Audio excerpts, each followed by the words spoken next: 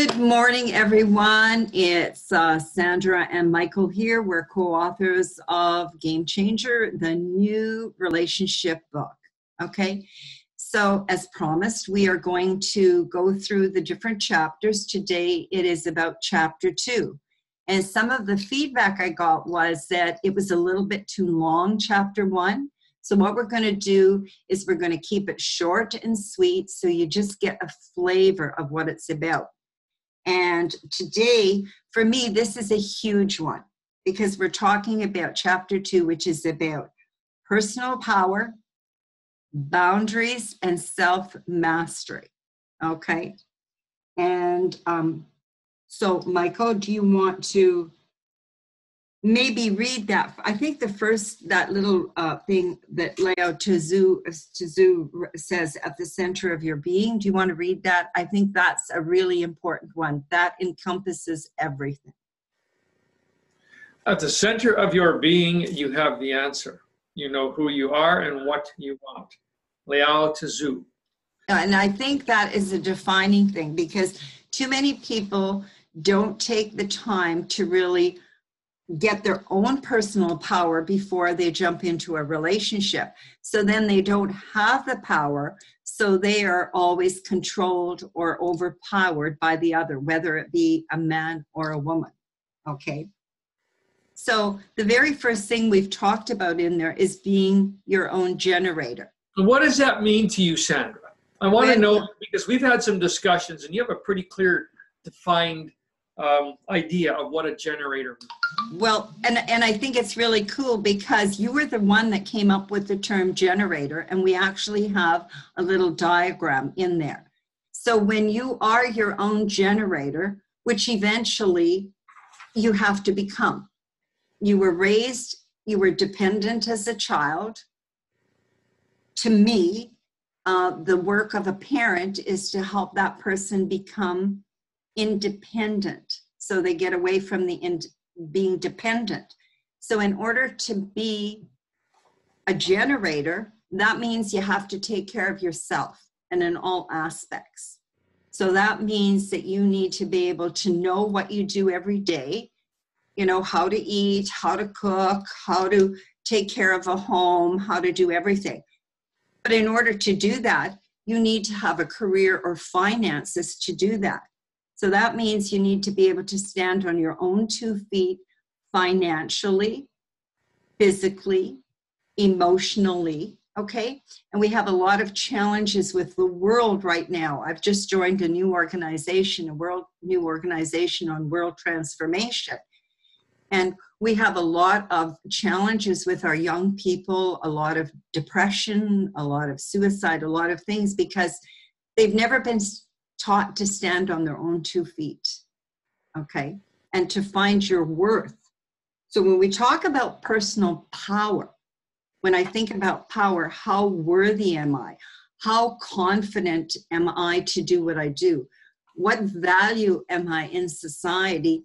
And can I do it? Okay, and in order to do it, it's like a child.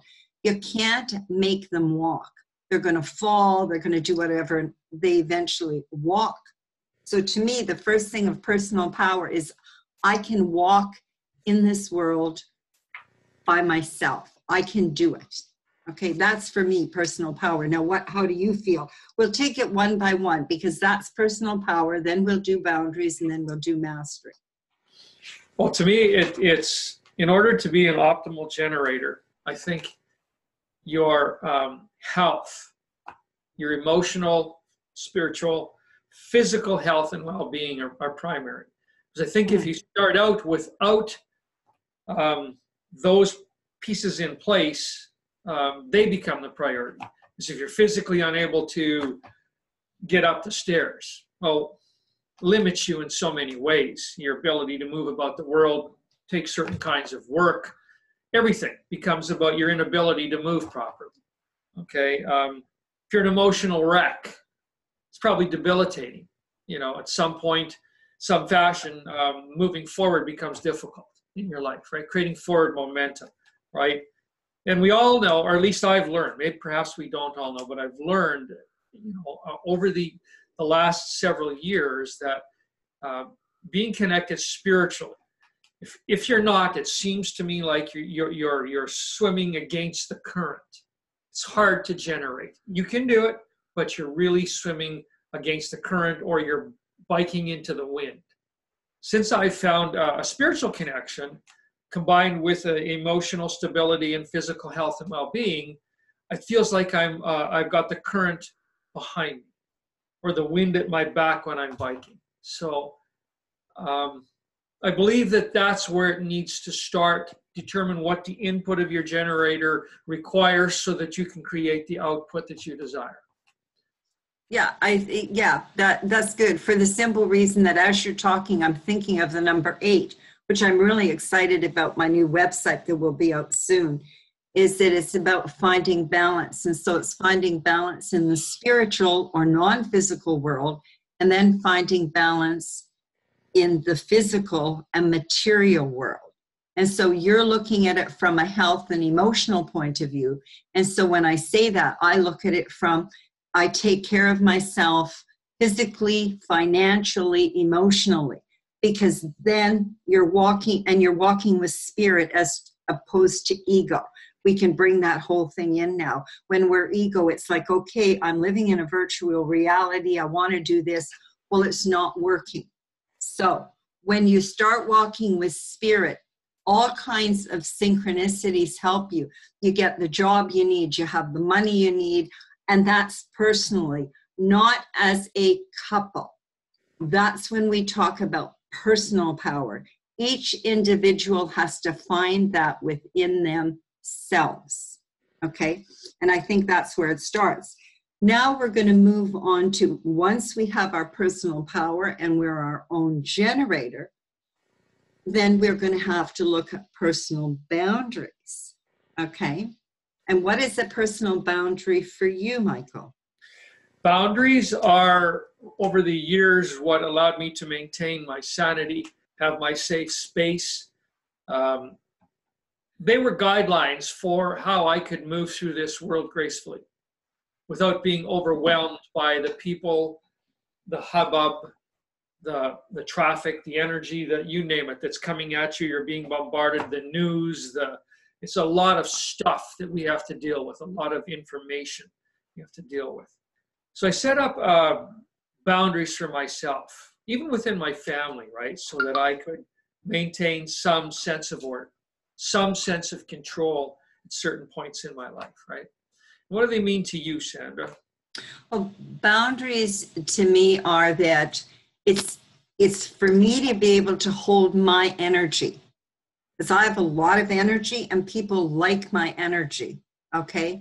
And I am of service. That's what I came here. That's that's my big mission. So the bottom line is when I get out of balance, I'm giving too much. So boundaries to me are any kind of relationship and everything in life is relationships, okay? And we are energy beings. So whether in a personal relationship, uh, an intimate relationship, relationship with my children, relationship with my work, relationship with my money.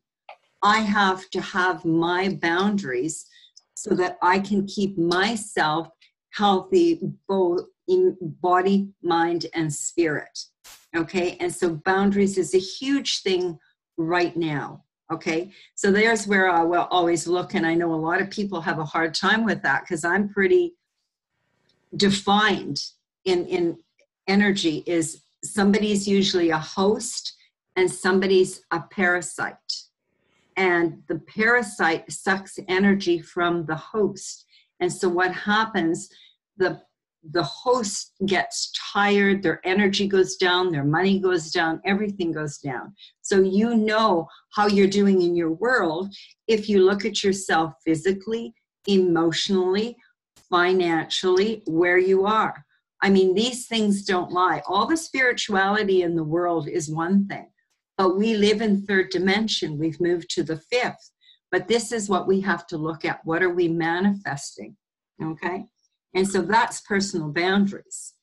And so we have a section in there that we talk about and give advice on, or at least create awareness to, uh, to help the individual the individual reader. We have material boundaries, we have physical boundaries, mental intellectual boundaries, sexual boundaries, and spiritual boundaries. Right. There's information and guideline in each one under each of those headings. Right. And I think the big thing here, I just look because one of the sidebars is called detachment. And, and it's really interesting because people will say, well, if you're detached, then you're not a part of. Attachment is when we have this codependence. Okay, our hands are together. When we are detached, that's when we have our own personal boundary and we're not in there's a lot of family dysfunction at all different levels work dysfunction. You have to be able to be detached in order to be able to help other people or else you're the enabler okay? So i think that's good.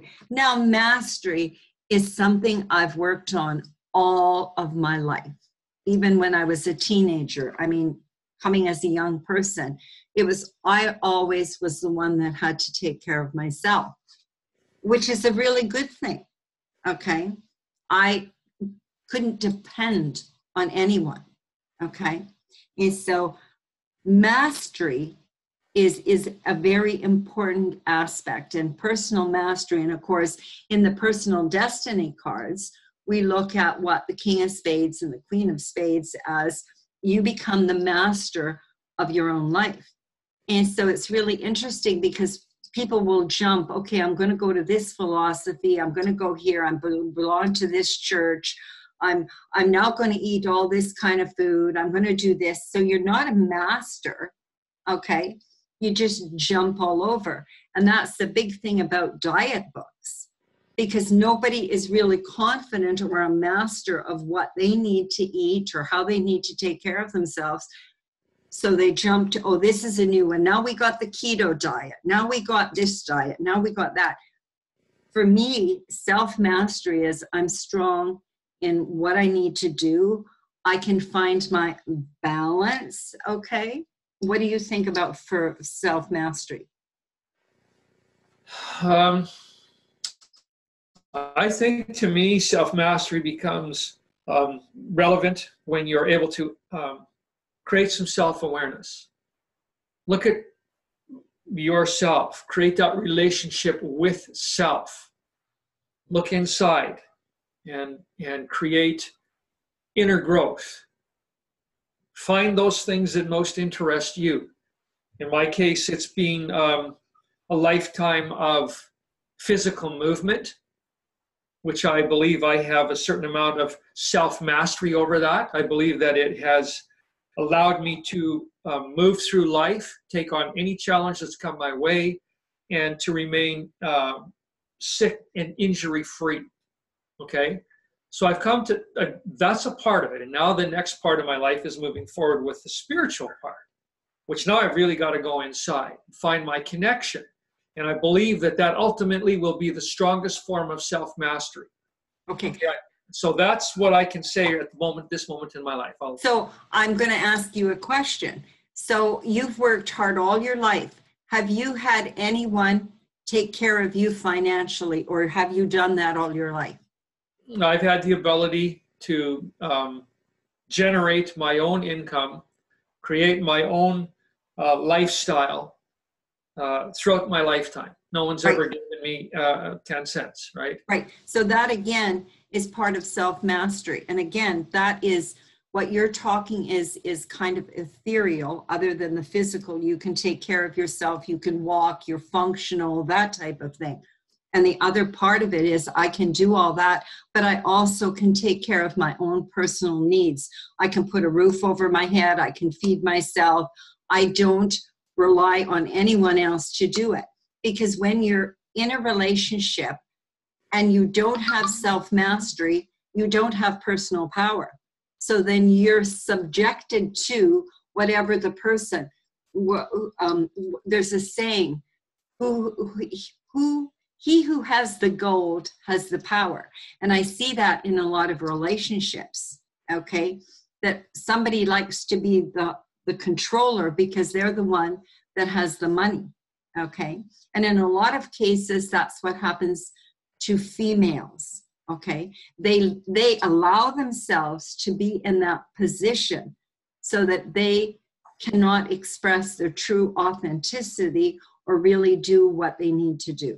So I think And that ultimately leads to resentment over the course of a relationship and probably leads to, um, you know, potential separation, you know, 20 years, 30 years down the road because it builds up over time, right? Right, but I can see both sides because the host gets tired of the energy vampire or the parasite. Because that's where, if we now end this one, that we started with self mastery, or no, we started with personal power. Then we Generator. boundaries. We then we went- Right, then we went to self mastery. So if we go backwards, uh, self mastery is going to be attained when you have your personal boundaries, and those personal boundaries come from personal power. Okay, and so I think that's it. And I hope everyone has a copy of the book, Game Changer. And if you don't, you can go, you can find it on YouTube, you can get it in Chapters Indigo. You can order it online from Amazon or Friesen, and it is now available in audio. And if you would like, you could tell us what you think about, um, or if you have any questions, you can put them on the uh, comment section about what your um, perception of personal mastery is. And thank you so much, and be ready next week. We're going to do chapter three. That's best friend, lover, and the benefits of a lifetime relationship partnership. Perfect. Okay, thank you.